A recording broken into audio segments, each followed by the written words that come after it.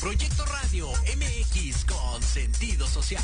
Las opiniones vertidas en este programa son exclusiva responsabilidad de quienes las emiten y no representan necesariamente el pensamiento ni la línea editorial de Proyecto Radio MX. Bienvenidos a las notas que no se notan. Un programa informativo sobre noticias que tienen poca difusión, pero no por esto son menos importantes.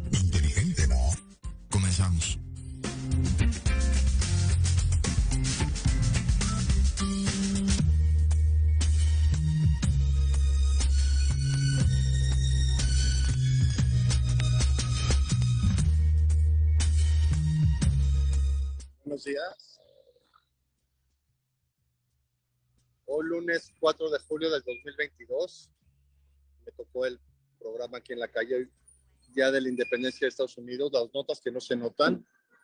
Empezar con una nota muy interesante que me pareció del cine y de cultura general.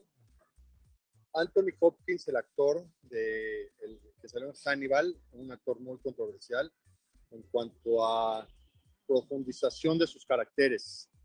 Anthony Hopkins es reconocido como el actor más longevo que gana un premio Oscar. 83 años, ganó el premio Oscar del año pasado como mejor actor. Y, analizar esta nota de un actor tan, tan interesante como Anthony Hopkins. Tiene una película reciente que se llama El crimen perfecto. Trata de que, de que asesina a su esposa y genera toda una controversia jurídica. Una película muy interesante de analizar desde un punto de vista intelectual de Anthony Hopkins. Y bueno, la, el Oscar lo ganó por la película El Padre. Pero tiene esta película El crimen perfecto. Para lo que les gusta estudiar derecho, leyes, analizar juicios, analizar todas las maniobras jurídicas que existen para declarar a alguien culpable o inocente, a pesar de que el crimen es sumamente notorio. Esta película es bastante, bastante intelectual, del crimen perfecto, con Anthony Hopkins. Tiene una película de los 70, una película muy antigua, Anthony Hopkins, les digo, es el actor más longevo en ganar un, un premio Oscar. La película se llama El décimo hombre, con Anthony Hopkins. Es una película existencial de muy alto nivel de análisis que trata de que están en la guerra. No recuerdo bien, es una guerra como la guerra civil española o una guerra en Francia, que toman a los rehenes que estaban siendo opositores al gobierno y los van a fusilar. Entonces el que los va a fusilar en la cárcel les dice, el que salga el décimo lugar, no lo voy a fusilar. Y se genera toda una controversia entre los 10 que están en la cárcel para decir a quién no van a fusilar y hacen una rifa. Y finalmente el que sale victorioso. Vean la película El décimo hombre con Anthony Hopkins. Muy interesante desde un punto de vista existencial. Parece una sátira del muro de Sartre Jean-Paul Sartre, que escribió ese libro con el que ganó el premio Nobel de Literatura, que rechazó. Sartre rechazó el premio Nobel. Pero esta película, El décimo hombre, basada más o menos en ese existencialismo de alto nivel de alguien que van a fusilar y que está pensando todo lo consecuente a un fusilamiento, es esta película con Anthony Hopkins. Les digo, de hace 50 años, la película debe tener ya más de 50 años, con una actuación extraordinaria. Anthony Hopkins es el que hizo el rito, esa película tan interesante que cuando lo entrevistó López Dóriga, Anthony Hopkins. Y, y esta película del crimen perfecto, que es más o menos reciente, ya se ve un hombre grande en la película. Trata de, de la controversia de, de, declarar culpable a un asesino confeso con todas las pruebas y todo. Es una película muy interesante de analizar desde un punto de vista jurídico. El, Crimen Perfecto con Anthony Hopkins, premio Oscar 2021 a los 83 años de edad, la película El Padre. Creo que es una nota bastante interesante de buscar y de, y de analizar de este gran actor Anthony Hopkins. Otra nota de México muy interesante de que acaba de subir el precio de la leche. 13.4%. Desde hace 20 años no había subido. Claro, hay una recesión mundial, hay un problema mundial de, abasto, de, producción, de, toda la cuestión de, costos. Todo sube. Si sube los combustibles, sube el traslado de comida para las vacas, sube toda la producción, sube la, manufactura, todo lo que se necesita aumenta mucho de precio y ahorita acaba de subir la leche, como en los últimos 20 años no había subido. Claro que la leche es de la canasta básica, la, leche es uno de los productos subsidiados en México que ha mantenido la economía y, y la estabilidad del país, junto con las tortillas, el huevo, el pan, la leche, los frijoles, son productos de la canasta básica que tienen subsidio del gobierno desde la época de Lázaro Cárdenas y Manuel Ávila Camacho, que se consolidó todo el subsidio a la canasta básica, después lo confirmó Miguel Alemán y hasta ahora, hasta ahora todos estos productos afortunadamente en México se pueden comprar con, con poco dinero y poder mantener a todo México con una buena alimentación. La leche es básica para el crecimiento y para el desarrollo, el calcio, los huesos, y ahorita al parecer tiene un incremento en el precio la leche en México. Y claro que la leche siempre ha tenido controversia en cuanto a la producción desde que era con azul, policonza y todas estas cuestiones políticas del manejo de, de la leche, que en este tema no, no entro en política, pero es, es interesante saber por qué la leche como un producto básico y un producto de tanta producción, digo, la leche se produce, cuántos productos de leche hay que se pueden elaborar, yogurts, quesos, mantequillas, cremas y todo lo que se elabora a partir de, lácteos. Y es muy interesante. Desde un punto de vista histórico bíblico, se supone que la tierra prometida es una tierra donde emana leche y miel, que esto es interesante de analizar, los que les gusta analizar la historia de la Biblia, porque habiendo tantos productos que puede generar una tierra, porque se le llamó la, tierra de leche y miel, a la tierra prometida.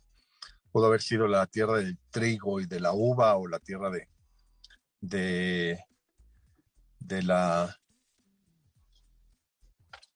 de las sandías y del y del pan, pero es la tierra de la leche y de la miel, la tierra de la tierra de Israel, la tierra prometida.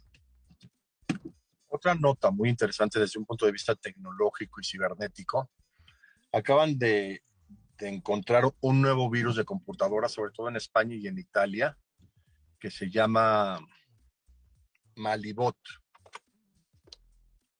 Analizar esta noticia porque desde que aparecieron los virus, yo me acuerdo en, Microsoft, en las computadoras que comprábamos, laptops con eh, internet clásico, las computadoras, antes de que hubiera Apple, todas las computadoras las tenías que comprar, ya sea computadoras de, escritorio o como existían en esa época las llamadas laptops, que eran computadoras portátiles con conexión. Y desde esa época que comprábamos las computadoras en los años eh, 90 más o menos, empezaron a surgir virus computacionales, que era como un sistema que se metía a la computadora y que empezaba a generar problemas dentro de la computadora, tanto de copia de archivos, como de grabar. En esa época se podían grabar los, los programas todavía en compact disc, en cintas magnéticas, pero si entraba un virus a la computadora, este, se dañaba todo, desde cargar la computadora, se volvía lenta, no se podían grabar programas, no se podían transferir programas de un lado a otro. Todavía no existía el Internet, ¿eh? el Internet estaba muy, muy arcaico, pero las computadoras se utilizaban mucho como como archivos empezaban a existir los sistemas operativos de, Office, de Word, de Excel, en todas las computadoras eran muy importantes para el archivo de, documentos, de, empleados, de nóminas, de todo lo que se usaba en la computadora. Y si le entraba un virus a la computadora,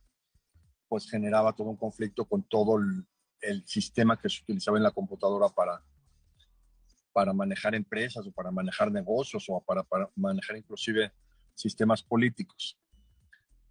Y lo que empezó a pasar es que desarrollaron los mismos que desarrollaban los programas y los mismos que desarrollaban los, los sistemas operativos de las computadoras, comenzaron a desarrollar antivirus.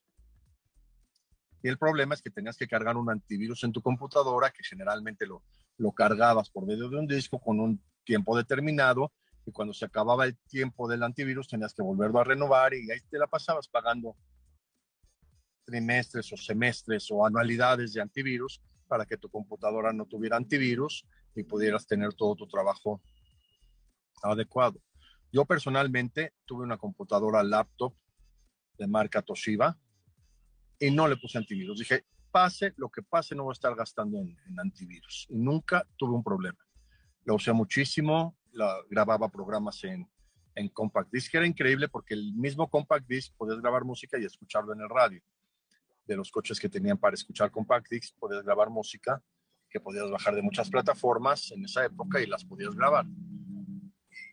Y comenzaba el Internet y te conectabas a Internet por vía telefónica en esa época cuando empezaba el Internet por el año 90, 91, tenías que conectar la computadora al laptop al teléfono y del teléfono se marcaba para conectarse a Internet. Era muy antiguo, pero decían que si entraba un virus, ni siquiera se podía entrar a, a Internet por vía telefónica. Y claro, cuando entrabas al Internet no podían entrar llamadas telefónicas a tu casa o al teléfono que usabas para Internet. Y yo nunca contraté un antivirus para esa computadora y hasta ahora la tengo, y ¿eh? la uso de repente. Y, y no, no, no hubo manera de que se contagiara de virus. Mi computadora, teniendo la sospecha personal de que los virus eran solo una, un negocio de los que inventaron los virus para vender los antivirus. Afortunadamente, cuando surgieron otros sistemas como Android y Apple, ya no tienen, se supone que ya no desentran virus. Y estos virus que reportan en esta nota, que se llama Malibot, los que lo quieran buscar me pareció muy interesante porque es un virus que puede entrar en los sistemas computacionales, inclusive de celulares, a las aplicaciones de los bancos y pueden extraer dinero de otros teléfonos o de otros sistemas de, de intercepción por medio de este virus cuando el virus se contagia al teléfono. Por eso se llama virus, aunque son virus que son programas computacionales, como se pasaban de una computadora a otra como si fueran contagios, por eso se llamaron virus, los virus de las computadoras y, y esto genera todo este conflicto en Italia y en España, sobre todo en otras partes del mundo que también tienen estas cuentas de bancos, que puede transmitirse este programa o este virus y poder hacer transferencias desde otros sistemas o desde otros teléfonos del dinero de, de las personas. Virus Malibot, que bueno, como es de Italia y España, pues suena padre, ¿no? Como un bot mal. Bots, se llaman bots se supone que son las cuentas automáticas, que para no llamar de robots, como para disminuirlo desde un punto de vista tecnológico, le llaman bots, pero en realidad robots viene de robots, que son cuentas ficticias o cuentas sin personas, que pueden incluir muchísimos comentarios en las cuentas de Twitter oficiales o en las cuentas de Twitter personales de una persona, los que llaman clásicos bots, que son cuentas fantasmas o cuentas de robots que empiezan a poner comentarios sistemáticos en las cuentas y pueden eh, generar mucho conflicto en cuanto a, opinión pública. Y este virus se llama Malibot, como que diciendo es un bot malo. Malibot, una nota muy, muy interesante. Una nota de ciencia que siempre comento en estos programas de los lunes. Acaban de descubrir que el núcleo de la Tierra que ya saben es el núcleo incandescente de, los planetas, que todos los planetas conforme se fueron formando en el universo, las capas externas se fueron enfriando y la capa interna quedó caliente. Por eso se supone que, que un volcán es la salida de lava que viene desde el centro de la Tierra. Se supone que todo el centro de la Tierra es de lava, lo que ha generado muchas leyendas, ¿no? De que el centro de la Tierra, Dante Alighieri y el infierno, y realmente nadie sabe bien qué es el centro de la Tierra, pero se hacen estudios de perspectiva para saber en qué consiste su contenido y cómo se manifiesta y cómo mantiene la, gravitación universal, los centros candentes de los planetas. Había dicho Julio Verne, Julio Verne fue el que escribió el libro Viaje al centro de la Tierra. Escribió 20.000 leguas de viaje submarino, La vuelta al mundo en 80 días, Viaje al centro de la Tierra. Julio Verne, un gran genio. Y él decía, ¿eh? se va a conquistar antes el espacio que el centro de la Tierra. Es muy difícil poder saber qué es el centro de la Tierra porque no se puede llegar. Digo, no, por más perforaciones que hagan, hay todas las capas de la Tierra, inclusive la capa intermedia que hay de petróleo en muchos países como México y Venezuela, pues esa capa se tendrá que que, perforar para poder llegar a las siguientes capas y llegar al, centro de la Tierra. Pero lo que notaron y que publicaron de la revista Science Advances es que el centro de la Tierra cada seis años oscila, tiene una oscilación, tiene un movimiento que no afecta realmente, no afecta a los movimientos de rotación y de traslación de la Tierra, pero que sí se ha visto que el centro de la Tierra puede rotar, va rotando poco a poco hasta que cumpliendo seis años tiene una, una cierta oscilación el centro de la Tierra que no es fijo. Esto es lo importante de esta nota, que el centro de la Tierra no es fijo, es un, es un centro candente de material incandescente, seguramente con, con el inicio fundamental del Sol, que es de helio y de todos estos elementos incandescentes, y se ha visto que cada seis años tiene una cierta oscilación. El, el, centro de la Tierra, que es una nota muy interesante porque, como les digo, el centro de la Tierra nadie ha llegado, nadie sabe bien de qué se trata ni, ni en qué consiste, pero se sabe por estudios de perspectiva de en qué consiste y cómo se puede analizar esto que, oscila el centro de la Tierra. Otra nota muy, muy interesante, también sobre descubrimientos y sobre hallazgos, eh, bueno, de alguna manera científicos, pero este es de minería, reportan que en Uganda, particularmente en la ciudad de Caranoja. Encontraron una mina de oro, según ellos, con 31 millones de toneladas de oro. Una nota amarillista, una nota de mucho interés, porque si hay 31 millones de toneladas de oro, pues el precio del oro va a bajar si es que lo pueden explotar. Pero ya aclararon, ya aclararon que eh, que solo se pueden extraer 320 mil toneladas de oro de los, según ellos, de los 31 millones de oro de que hay en Uganda.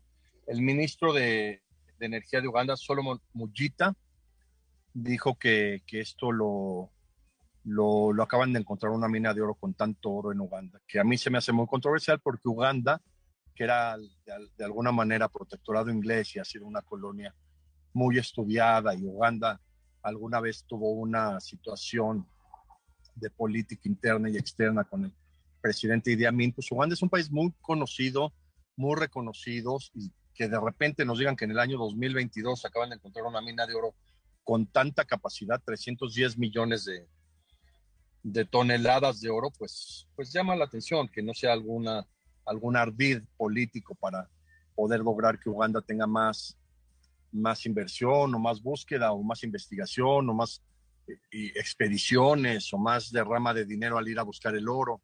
No sé, me recuerda cuando encontraron el oro en San Francisco, en 1849, y se hizo todo un boom de la, la, fiebre del oro clásica de Estados Unidos. Por eso se llama el equipo de fútbol los 49, los 49ers, porque fue en 1849 cuando encontraron mucho oro en esa zona de, de California, que fue la fiebre del oro en Estados Unidos, porque todo el mundo comenzó a trasladarse a San Francisco y a esta zona para buscar oro era la clásica gente que encontraba pepitas de oro en el río.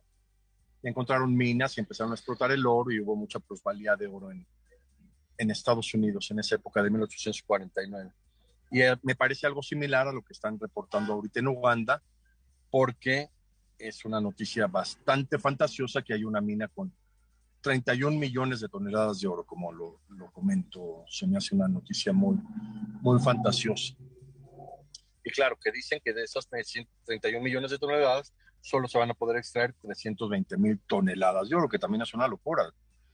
Digo, una tonelada de oro, ¿cuántos lingotes son?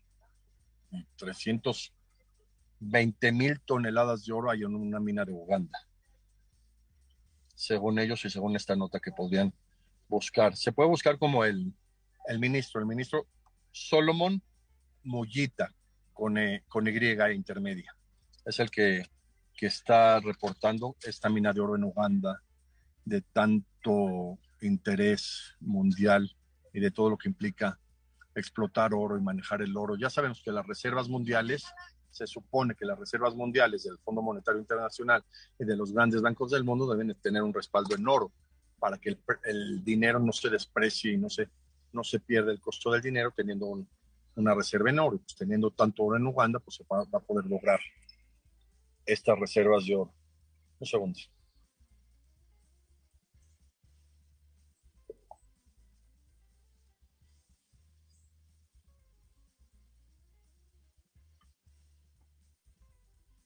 Y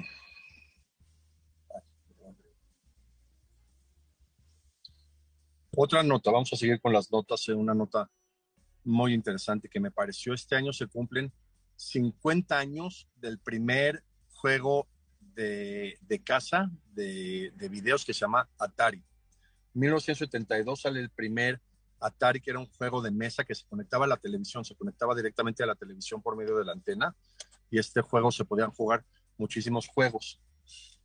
A partir del Atari surgieron muchos juegos de mesa que comenzaron a utilizar en, en, en casinos en lugares de, de, de, de, costos. Yo me acuerdo, le llamamos maquinitas en México. Entonces podías ir a jugar maquinitas, echabas... Se compraban monedas, se compraban monedas que eran del tamaño de las monedas que usaban en Estados Unidos, de los de 25 centavos, comprabas unas monedas y podías jugar. Y podías jugar en una máquina grande los mismos juegos del Atari. Que me acuerdo uno de los primeros juegos se llamaba Space Invaders, Invasores del Espacio, que tú eras una nave que tenía que ir destruyendo los ovnis. Todos los ovnis venían a la Tierra y tú los tenías que ir disparando desde tu base con una navecita, iba aumentando y aumentando, ibas pasando de nivel. Y eran juegos, para la actualidad de los juegos que hay, juegos muy básicos. Después surgió uno que se llamó Frogger, que era una ranita que iba cruzando la carretera, en toda la ranita tenía que ir esquivando los coches. Después el mismo Pac-Man surgió de, del Atari y surgieron así muchísimos juegos que, que ahora cumplen 50 años, juegos de entretenimiento. Claro, después hubo otras marcas que hasta ahorita conocemos de, de estos juegos de, de, pantalla o de televisión. Y, esto es interesante porque quieren sacar una nueva consola por el cumplimiento de los 50 años del Atari con nuevos juegos y nuevos eh, sistemas basados, basados en el Atari. El Atari se utilizaba con controles. Conectabas el control, todo era con cables, no había controles remotos para las televisiones, no había nada remoto, todo era por cables. Todo, inclusive cuando contratabas algún sistema de cablevisión en la casa, era con cables, con controles. Ahorita es increíble los controles. Todas las teles usan controles, hay controles híbridos, hay controles que compras y que captan la televisión y puedes cambiar la televisión desde el aire. Si esto lo hubiéramos visto cuando salió el Atari en 1972, hubiéramos creído que era magia o brujería, que puedas por medio del aire cambiar de canal a la televisión. Era inimaginable en esa época. Tenías que pararte, cambiarle a la televisión, sintonizar la televisión desde la televisión y conectar este juego Atari por medio de un cable a la televisión para poder jugar. Jugabas con controles, todo por medio de cables. Eh, se llenaba de cables el espacio entre la televisión y donde te sentabas para jugar y todo era así tan arcaico que ahorita no lo, no lo podrían imaginar los de la generación de ahora que, que existen teléfonos celulares inalámbricos que en el teléfono puedes tener todos los juegos que quieras